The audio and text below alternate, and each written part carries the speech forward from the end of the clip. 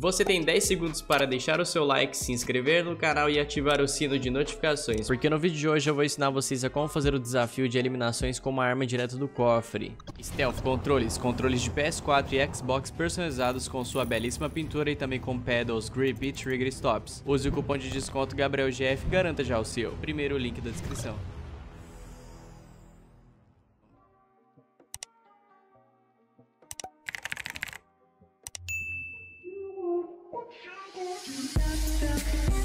down.